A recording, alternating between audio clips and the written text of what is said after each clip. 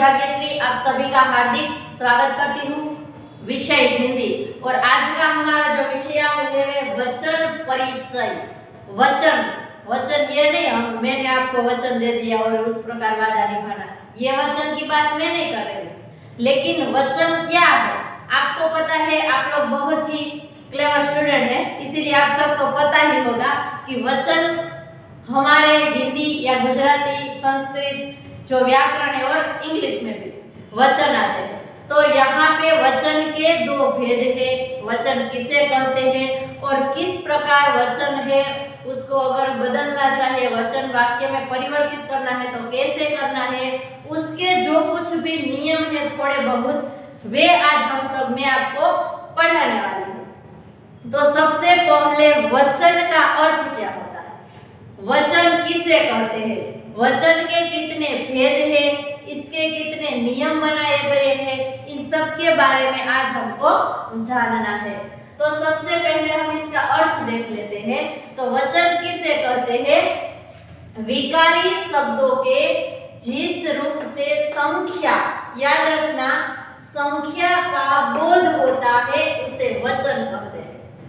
जिसके आधार पर हमें संख्या का बोध होता है, संख्या के बारे में पता चलता है, उसे हम वचन कहते हैं। और यहाँ पे वचन के केवल दो ही भेद है। यहाँ पे मैंने लिखा है एक वचन और बहुवचन। संस्कृत में क्या आता है? एक वचन, द्विवचन और बहुवचन। लेकिन यहाँ पे सिर्फ़ दो ही भेद है हिंदी में, एक वचन और बहुवचन। आपको इसके बारे में पता है, अगर किसी एक के बारे में एक वस्तु या व्यक्ति के बारे में बात की गई हो, उसे एक वचन कहते हैं। और बहुवचन यानी कि जिसमें एक से ज़्यादा व्यक्तियों के बारे में बताया गया हो या किसी वस्तु के बारे में आपको परिचय दिया गया हो तो उसे क्या कहते हैं? बहुवचन। तो आज हम लोगों को उसके नियम के बारे में देखना है। यहाँ पे मैंने लिखा है अकारांत पुलिंग शब्द बव जिसका मतलब होता है बहुवचन, मैंने शॉर्ट में लिखा एक एव यानी कि एक वचन, आपको पता ही है। अकारांत पुलिंग शब्द बव में नहीं बदलते। अकारांत पुलिंग, अब आपको लिंग परिवर्तन, ये पॉइंट हमने आगे देख लिया है। पुलिंग, स्त्रीलिंग और नपुंसकलिंग के बारे में। यहाँ पे हमने पुलिंग और स्त्रीलिंग देखे थे हिंदी में। तो यहाँ पे क्या है, उसका अर्थ है, पहला जो नियम है, अकारांत पुलिंग शब्द बव में नहीं बदलते। यानी कि जो अकारांत पुलिंग शब्द है, उसका अगर हम बहुवचन भी करते हैं तो वे वैसे का वैसे ही रहेगा, उसमें कोई भी किसी भी तरह का बदलाव आएगा नहीं। यहाँ पे देखते हैं, यहाँ मैंने लिखा है फल। तो वे अकारांत पुलिंग है ना, उसको स्त्रीलिंग बोलते इस पे फल ही लिखा है। नहीं लिखा तो उसे हम स्त्रीलिंग नहीं कह सकते। वैसे आम, बालक, बालकी, आमी ऐसे कहते नहीं कह सकते। क्योंकि ये अकारांत बोलेंगे अकारांत क्यों?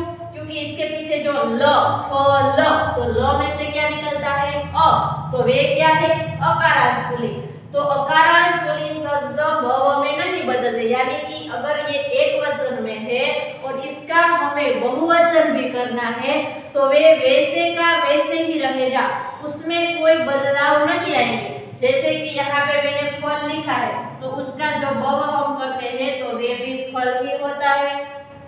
आम तो वे वैसे का वैसे ही रहेगा, क्या होता है? आम और बालक। तो यहाँ पे बालकी ऐसा नहीं कर सकते हैं।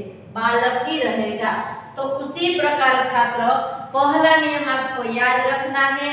अगर किसी वचन में, यानी कि वाक्य में अकारांत पुलिंग शब्द आता है तो उसका भव बदल सकते नहीं है। वे वैसे का वैसे ही रहता है। तो छात्र, वचन के लिए हम जो अभ्यास कर रहे हैं, इसमें हमारा जो दूसरा नियम है, पहला हमने देखा कि अकारांत पुलिंग होता है तो जो शब्द है वे बहुवचन में वैसे का वैसे ही रहता है। लेकिन नियम नंबर दो, इसमें क्या करते हैं अकारांत स्त्रीलिंग होता है। आपको ऐसा लगे, अगर आप भूल गए हो तो यहाँ पे है कि स्त्रीलिंग किसे कहते हैं और पुलिंग किसे कहते हैं। आपको मैंने बताया था कि अगर आप बोलते हैं कैसी तो वे होता है स्त्रीलिंग। कैसा तो वे होता है पुलिंग। यहाँ पे देखें, पुस्तक कैसी, तस्वीर कैसी, इमारत कैसी, बात कैसी, हम ऐसे नहीं करते। पुस्तक कैसा, तस्वीर कैसा, ऐसा बोल नहीं सकते हैं। तो अकारांत स्त्रीलिंग शब्दों के ब में अ की जगह ए लिखना है। यहाँ पे ध्यान देना है, अ होता है, उसकी जगह हमें क्या लिखना है? ए लिखना है, ताकि हमारा जो बहुवचन में उस शब्द को बदल दिया जाए। यहाँ पे देखते हैं, मैंने कुछ उदाहरण दिए गए हैं। यहाँ पे लिखा है, पुस्तक। वे स्त्रीलिंग शब्द है। और लास्ट में क्या आता है? अकारांत ये क्या है? अ, पुस्तक। क में से क्या निकलेगा? अ। और इसकी जगह हमें क्या करना है? ए। तो मैं कैसे लिखती हूँ? आपको देखना है। पुस्तक। तो मैं ऐसे लिखती हूँ। पुस्तके समझ में आ गया? इसी प्रकार ये जो सारे उदाहरण है, इसे लिखना है तस्वीर। तो क्या होता है? तस्वीरें। तीसरा है इमारत। इमारतें। बात। तो वे क्या होता है? बातें। यहाँ पे लिखा है दीवार। तो जिसका अर्थ भी क्या होता है? दीवारें। तलवार। तलवारें और आँख तो वे भी क्या हो जाएगा आँखें? तो उसी प्रकार, छात्र, जिस प्रकार अकारांत पुलिंग होता है तो वे बहुवचन वैसे का वैसे ही होता है। लेकिन जब अकारांत स्त्रीलिंग होता है तो शब्द अगर वे बहुवचन में दिए गए हो तो अ की जगह क्या करेगा? हमें क्या करना है? हमें ए करना है। तो यहाँ पे मैंने लिखा था पुस्तक तो इसका ए हो गया। तो क्या हो गया? पुस्तके तस्वीर, तस्वीरें। इमारत, इमारतें, बात, बातें। दीवार, दीवारें, तलवार, तलवारें, आँख, आँखें। तो उसी प्रकार छात्र, हमारा जो दूसरा नियम है, ये भी बहुत ही सरल है। आपको एक ही बार में याद रह जाएगा। तो छात्र, यहाँ पे हमारा जो तीसरा नियम बताया गया है, इसके बारे में हमें पढ़ना है। तो इसमें कहते हैं कि आकारांत पुलिंग। आगे आपने देखा था, आकारांत अकारांत पुलिंग अकारांत स्त्रीलिंग।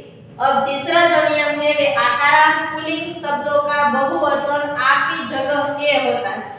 आपको ऐसा होगा कि वहाँ स्त्रीलिंग हुआ था तो वहाँ पे अ की जगह ए था तो छात्र यहाँ पे याद रखना, वहाँ मैंने अ लिखा था और ए अर्धचंद्राकार। लेकिन यहाँ पे पुलिंग है, ये भी देखना है, पुलिंग है और आ की जगह क्या लिखना है ए तो इसमें अर्धचंद्राकार नहीं है। इसीलिए यह दूसरा नियम था और ये हमारा जो नियम है, वे नियम नंबर तीन है। तो यहाँ पे लिखा है आकारांत पुलिंग यानी कि लड़का का में से निकलता है आ। तो वे क्या होता है? आकारांत पुलिंग जिसके आ की जगह ए लिखना है। किस प्रकार लिखना है? तो यहाँ पे मैंने लड़का लिखा है। तो जिसका हम क्या करते हैं? लड़के यहाँ पे इसके ऊपर अनुस्वार नहीं करते। हमने अगले उदाहरण में देखा था, तस्वीर। तो तस्वीरें लिखती थी तो रे के ऊपर हम अनुस्वार करते थे इस प्रकार। अर्धचंद्राकार की तरह। तो यहाँ पे सिर्फ़ ए ही लिखना है, इसीलिए यहाँ पे अर्धचंद्राकार यहाँ पे नहीं करना है। बहुत ही ध्यान से देखना। यहाँ पे लिखा है घोड़ा। तो इसका वो हम करते हैं तो वे क्या हो जाएगा? घोड़े। और रास्ता। तो रास्ते। इसके बाद कमरा लिखा है तो कमरा का क्या हो जाएगा? कमरे। नारा आकारांत है जिसका अर्थ हो जाएगा नारे और बच्चा तो वहाँ पे क्या हो जाएगा? बच्चे। तो छात्र, आप लोगों को यही बात ध्यान रखनी है। अगर अकारांत स्त्रीलिंग है तो वहाँ पे अ की जगह ए लिखना है।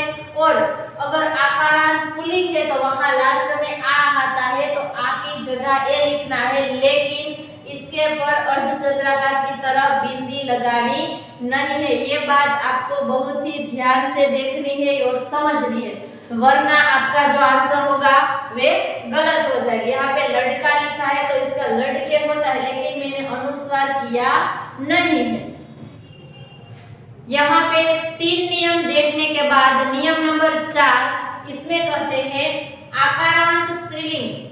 पहले अकारांत पुल्लिंग अकारांत स्त्रीलिंग। बाद में आकारांत पुल्लिंग और आकारांत स्त्रीलिंग। तो आकारांत स्त्रीलिंग शब्दों का बहु यानी कि बहुवचन, ए जोड़ने से होता है।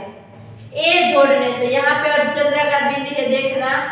तो आकारांत पुल्लिंग है और इसके पीछे सिर्फ़ ए ही जोड़ना है। बीच में कोई कोई अक्षर निकालना है और बाद में उसको जोड़ना है, वैसा नहीं यहाँ पे उदाहरण कुछ मैंने लिए हैं। तो यहाँ पे ए जोड़ने से उसका बहुवचन हो जाएगा। तो किस प्रकार ये होता है?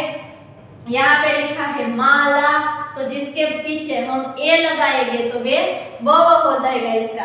तो हम लिखते हैं माला तो क्या होता है? मालाए। दूसरा है बाला।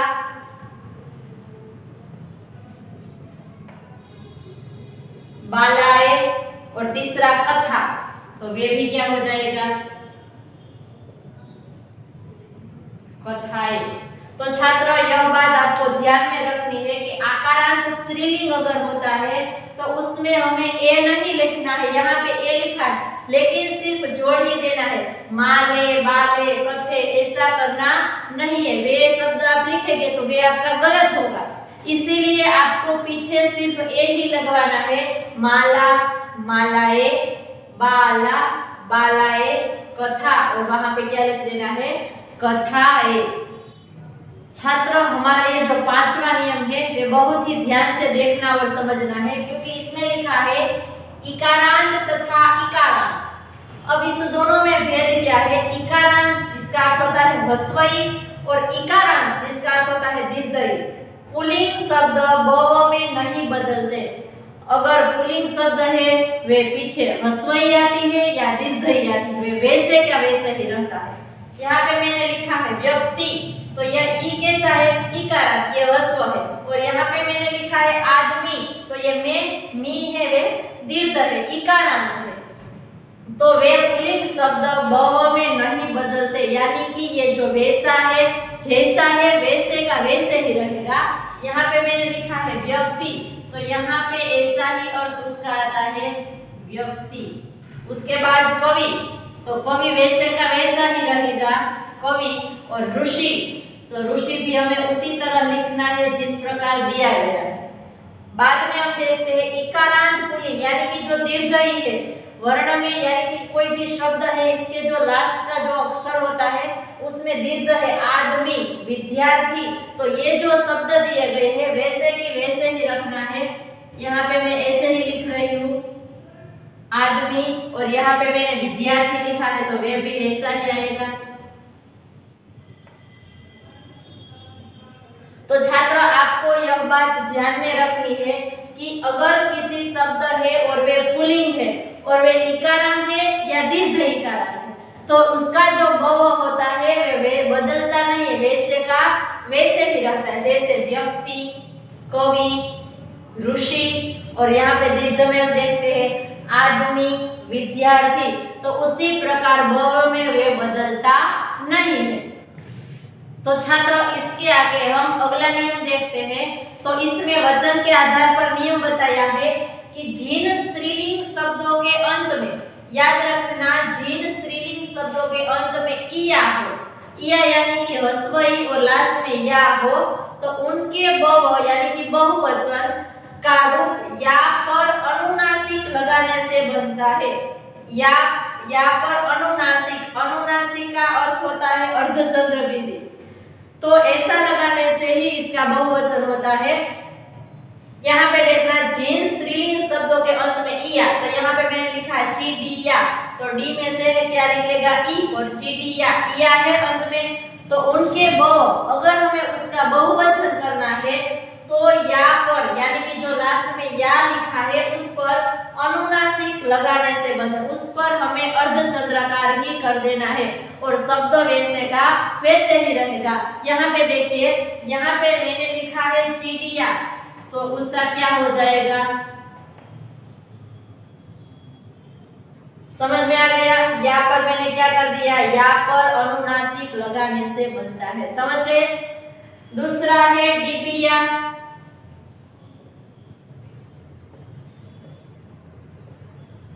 डिबिया हो गया।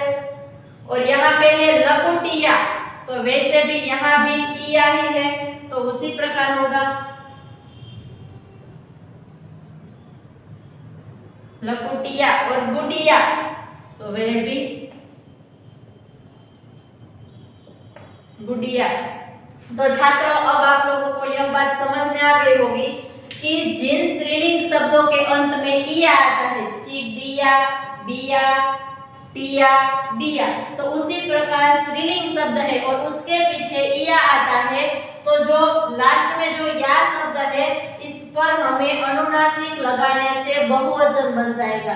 अनुनासिक यानी कि अर्धचंद्रा का लगा देना। यहाँ पे लिखा चिड़िया, डिबिया, लकुटिया और गुडिया। तो उसी प्रकार हमारा वचन परिवर्तन हो जाएगा।